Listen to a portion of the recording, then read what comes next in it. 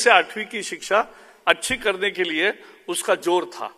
वो सर्व शिक्षा अभियान अब 25 साल हुए तो उसका रूप बदलना ज़रूरी था। इसलिए एक नया रूप हमने लाया है, समग्र शिक्षा।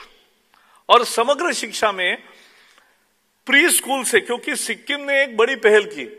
सभी समाज को अभी लोअर केजी अपर केजी का बहुत ये है कि मेरा बच्चा तीन साल से ही स्कूल में जाना चाहिए। तो इसलिए उन्होंने प्री स्कूल भी शुरू किए, जो सरकारी स्कूलों से जोड़ दिया, आंगनवाड़ी, और उसको प्री स्कूल में परिवर्तन किया। तो ऐसी पहल अनेक राज्य कर रहे तो जहाँ भी कर रहे उनको हम सहायता करेंगे। तो प्री स्कूल से बारहवीं तक, पूरे स्कूल शिक्षा का समग्रता से विचार करने वाली यह समग्र शिक्षा है। इसमें तीन पहल का केवल तीन वाक्यों में उल्लेख करूँगा। एक है, पढ़े भारत, बढ़े भारत।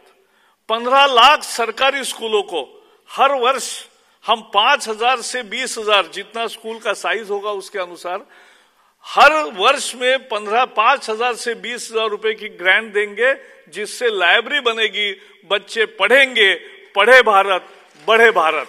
ये काम हम करेंगे। उसके साथ साथ, खेले भारत, खिले भारत। तो ये खेले भारत के लिए उसमें स्कीपिंग रोप से लेकर फुटबॉल से लेकर वॉलीबॉल से लेकर कुछ लेना है तो पैसे कहाँ हैं? हम पंद्रह लाख सरकारी स्कूलों को हर साल पाँच हज़ार रुपए से बीस हज़ार रुपए स्पोर्ट्स इक्विपमेंट लेने के लिए दिया है सभी राज्यों को, और उसके अभी सभी जगह सामान भी पहुँच जाएगा। तो ये खेलेंगे लोग, क्योंकि खेलने के बिना सही शिक्षा संभव नहीं होती। तो ये भी पैसा हमने देने का काम तय किया है।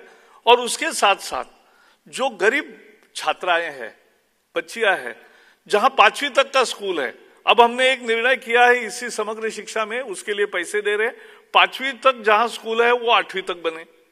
जहाँ आठवीं तक है, वो दसवीं तक बने। जहाँ दसवीं तक है, वो बारहवीं तक बने। तो अपग्रेडेशन ऑफ़ स्कूल भी होगा। और जो मार्जिनलाइज सेक्शन की छात्राएँ थी, कि जहाँ पांचवी तक स्कूल है तो फिर शिक्षा बंद हो जाती थी। तो दूसरे गाँव में छठी से आठवीं तक उनके लिए कस्तूरबा गांधी विद्यालय होते थे। अब हम कस्तूरबा गांधी विद्यालय आठवीं से बजाय बारहवीं तक चलाएँगे, छठी से बारहवीं तक। बेटी बचाओ, बेटी पढ़ाओ, बेटी बढ़ाओ।